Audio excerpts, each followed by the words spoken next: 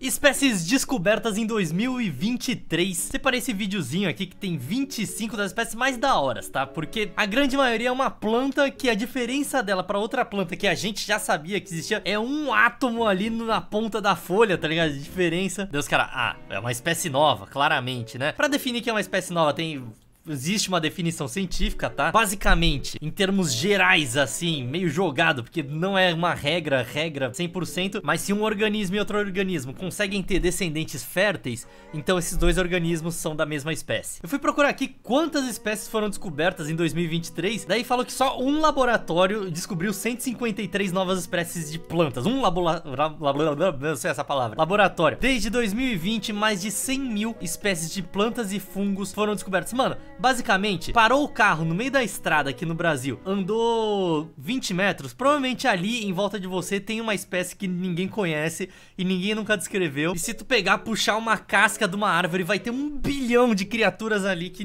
mano, ninguém nem sabe. Cada vez que eu pego aqui nesse canal e olho no microscópio, eu devo passar por inúmeras bactérias que nunca foram descritas e nunca vão ser. E essa é a beleza do mundo. E para você descrever, você tem que ter algum cacife, tá? Não é só chegar e falar assim, oh, essa aqui se chama Robertinho Robertinho da Silvos porque meu nome é Roberto da Silva. Não, não, você não pode fazer isso, Roberto da Silva. Pare, por favor. Então a gente começa com um morcego, bem esquisitão. Ah, morcego, tá, todo morcego tem meio que essa cara, vai. E ele mora ali mais ou menos no sudoeste asiático, né? Depois, uma cobra. Hum, cobra é interessante. Ô, oh, bonita essa, hein? A cobra que come caramujo. Corajosa, porque o caramujo é uma cascona, né? Ela puxa igual um escargot de dentro ou será que ela come tudo?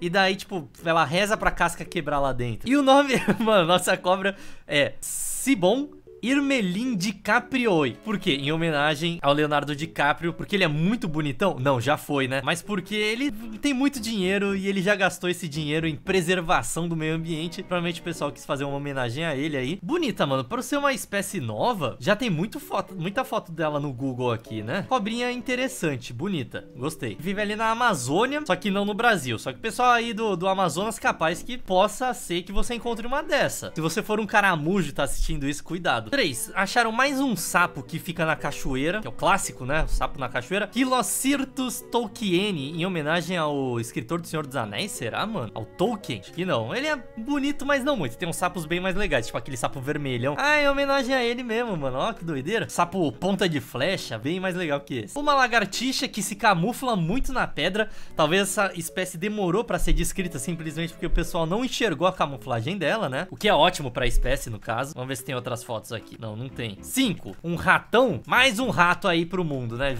Tinha pouco rato aí. Se for ver todas as espécies de mamífero, vamos botar mais rato nisso. Cara, eu acho que metade dos mamíferos são rato, na moral. Será que tem uma lista completa de mamíferos. Aí, ó, eu não tô ficando doido não. Mais de 40% de todos os mamíferos são da ordem Rodentia. Para de mandar rato, velho. Não quero mais saber de rato nesse mundo. Por isso que a gente tem que descobrir mais espécies de cobras pra comer mais rato. Nossa, mano, que bicho sugismundo. Agora, esse próximo é maluco, hein? Mizoran, lagarto de paraquedas. Por quê? Ah, ele tem o braço espalmado. Olha isso, que doido. Ele deve pular e vai descendo, assim, tipo de paraquedas, né? Gecko Misoramensis. E ele é da família Gecko, que é a família das lagartixas, no no caso, eu sei que tem muita gente que tem isso como pet, né? Os bichos da família da, ó, do gênero gecko, né? Não é família, não. Família é outra coisa. Olha que bichinho interessante. Pô, teria um pet lagarto desse. Eu acho mó legal. Pode ter no Brasil? Se está se perguntando se o gecko é legalizado no Brasil, saiba que a resposta é não. Quem falou sobre ser legalizado? Eles estão sob a proteção do Ibama. Lagartixa é de que gênero? Geconide, mas o gênero dele é Hemidactylus. Calango, então. Ameiva? Não, não tem nada. Mano, não tem gecko no Brasil, né? Eles são só da Ásia. Triste. Mas eu posso ter uma lagartixa no Brasil e ninguém vai dizer não. Aranha, aranha tem tudo a mesma cara, né? Eita, essa é perigosa da Austrália ainda? Meu Deus do céu. Oh, isso aqui não é um desenho dela, não. Isso aqui é uma foto do, uma, exemplar morto, claro. Mas, nossa, uh, tá me dando um negócio no pé só de ver isso.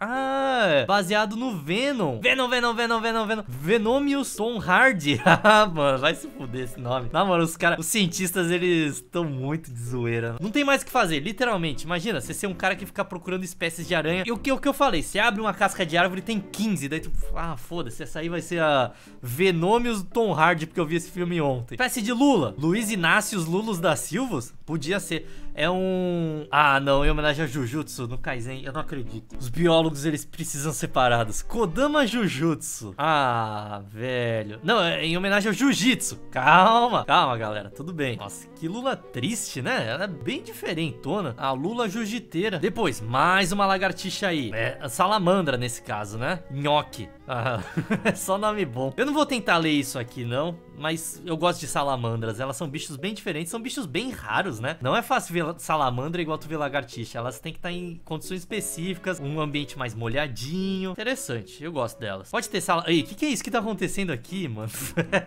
Pode ter salamandra no Brasil? Essa era a minha dúvida. Salamandra de estimação. No Brasil não existe uma permissão específica para criação de axolotes. Eu não queria um axolote, queria uma salamandra adulta, não essa desgraça da natureza aqui. Tá, não tem regulamentação, então se tu achar é teu. Basicamente é isso que eu entendi. Eu me recuso a falar sobre uma, essa planta, sinceramente. Vespa vampira, capitojopa Amazônica. Ah, tinha que ser no Amazonas, a Vespa Vampira, mano. Ela coloca os ovinhos dela na lagarta e depois vira essa Vespa maluca que é. Ah, é no Peru, não é no Brasil. Ufa, ninguém vai virar zumbi aqui não. Ei, dinossauro? Descobriram que tem dinossauro vivo? Não é só espécies vivas, tem espécies extintas também que foram descobertas. A.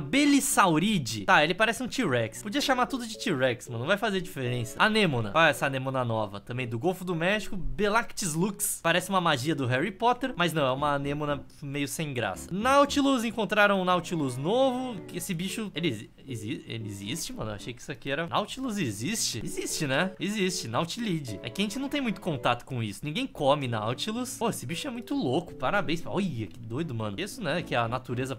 Eu tô impressionado com a existência desse bichinho aqui. Descobriram uma nova espécie de Nautilus que não quiseram dar nome, é? Ou foram três? Três espécies novas. Legal. Tem no Brasil, será? Ou só na Austrália? Vanuatu, em Samoa. Entendi. Mais aranha, lá vem. Sadala Raul. É uma aranha normal aí. Aranha marrom. Pinguim. Novo pinguim da Nova Zelândia. Kumin...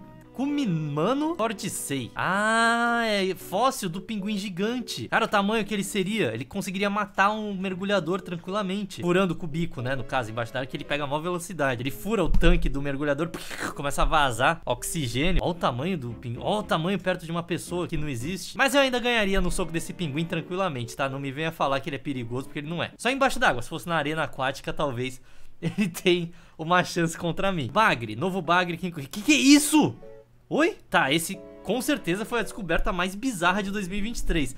Era pra ser um bagre isso? Oraglanis populi. Eu até falaria que é aquele bicho que entra no pinto, né? Pode ser um grande parente dele. O candiru é um bagre? O candiru, ele é um bagre, 100%, mano. Ou não? Ó, o bigodinho, ó o bigodinho. Eu tô achando que é, vamos ver. Vou ver até em português, que é o pessoal mais traumatizado. É uma espécie de peixe-gato, leia-se, bagre, peixe-gato. Vamos ver? Bagre. Popularmente são conhecidos como peixes-gatos, bagres ou cascudos. E o carandiru é um desses. Candiru é um... Mano, ele é muito arrombado. Será que isso aqui entra no pinto também? Meu Deus, os bagres pô, eles conseguem. Não só ele entra, como ele vira um, né? Um, uma peça genital masculina. Eu acho que o Candiru entraria nesse bicho. Nossa, mano, deixa eu ver se tem movimento isso. Oraglanes já é uma família de peixes, né? Já tem vários desse tipo aqui antes. Aí, aí, vamos ver ele se mexendo. Jornal indiano. Ele é bem pequenininho mesmo, né? Cara, isso entra muito na tua orelha e gruda. Olha o jeito que a cabecinha dela mexe. É engraçado os indianos. Eu esqueço que eles fazem isso, né? Fala, a cabeça deles mexe assim, ao invés de falar assim. Ó, Olha que engraçado, mano. Se esse bicho entrar na tua orelha, acabou. Ele vai entrar no seu cérebro, vai pegar, grudar e ele vai controlar todos os seus pensamentos. Talvez seja bom pra você isso, sinceramente. Vamos ver, próximo. Sapo. Por um sapo feio, eu vou pular. É um sapo normal, sapo marrom. Mano, não me vê... Calma que ele tem uma especialidade aqui. Ele tem perna de faixa daquele não pode passar da polícia, tá ligado? Se fosse só um sapo marrom, não me venha com bicho marrom, tá? Em vídeo de novas espécies descobertas. Ou planta verde normal com umas folhas. Não, eu quero bichos que vão desafiar a ciência mundial, né? Se não for pra ter ET, é melhor nem ter essa lista aí. Eu acho que esse ano vai entrar algum ET, hein, nessa espécie. Escute o que eu estou falando. Ah, Começou de novo. Cobra do Harrison Ford. Isso parece muito errado, né? O nome dela Tachymenoides Harrison Ford. de novo. O mesmo biólogo que colocou lá o, o nome do Venom Tom Hardy colocou o Harrison Ford. Mas esse cara precisa ser expulso da biologia. Para, por favor. Foi o mesmo que colocou do Leonardo DiCaprio, né, também. Basilosaurus, uma baleia que voava em vez de estar na água ou os caras só resolveram fazer a foto dela fora da água? Não entendi por quê. Ó, o ossão, mano. Esse bicho devia ser muito esquisito. Tamanho da cabeça cabeça dele comparado com o corpo, ele devia ser o bicho mais burro do mundo. Não sobreviveu. Virou baleia, né? Nova espécie de borboleta. Ah, velho, borboleta marrom também, sai daqui. Novas espécies de pangolim. Mano, quanto pangolim? É isso, nem sabia que tinha tanto pangolim assim. É tipo tatu. Nossa, que sacanagem com os pangolim, mano. Enterraram todos. Ah, pelo jeito eles são muito caçados por causa da escama dele. Vende pra medicina chinesa, né? O pessoal faz chá. Faz chá de qualquer coisa na medicina chinesa, mano. Chá de olho de barata. Os caras consegue fazer. É como se fosse bruxas do nosso imaginário popular. Um caldeirão da bruxa. Você coloca dente de morcego verde, um asa de barata amórfica. É meio que isso. Daí eles colocam escama de pangolim também para fazer as poções dele. Uma flor descobriram. Podia não ter descoberto também essa aí. Ninguém liga. Peixe de fogo. Uou! Eu gosto desses peixinhos bem pequenininho mesmo. É legal de... Oh, mano, bonito, hein? Porra, tem uns peixinhos assim irado. De ter aquário, esses pequenininhos assim. Nemateleotris lavandula. Se a gente pegar aqui os Nemateleotris, porra, qual é esse peixinho aqui, velho? Pode ter no Brasil? Eu tô querendo montar um aquário, hein? Já viu? São um tipo de peixe dardo. Ah, mas é de oceano. Porra, é foda ter um aquário de água marinha, né? Água doce é bem melhor. Será que tem esses peixinhos pequenos de água doce? Gênero de água tropical. Eu achava que tinha. Eu já tive aquários na minha vida e tinha uns bichinhos assim, tipo lebiste, sei lá, mano. Lebiste também, pô, é bonitão, né? Lebiste, ele é como se fosse um peixe beta pequenininho. Interessante, mas ele se reproduz muito, o lebiste. Eu lembro de ter, mano, era vários assim no aquário todo e daí nascia...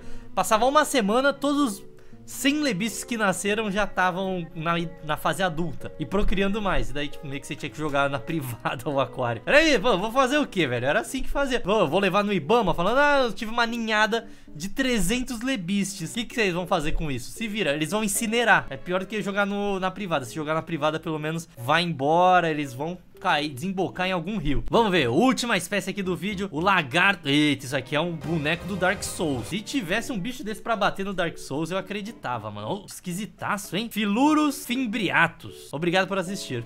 não foi muito legal, não. Tem mais várias outras espécies, por exemplo, esse site tá mostrando, ó, mano, olha esse camaleão, ele parece um idoso, né? Com aqueles velho meio gordo que fica quadrado. Eu não sei descrever, mas você já viu uma pessoa assim. Tem coisas interessantes. A Lula aqui, ó, o Venom de novo. Enfim, com esse caracol que ninguém liga, esse vídeo vai ficando por aqui. Espero que você tenha gostado e até mais. Tchau!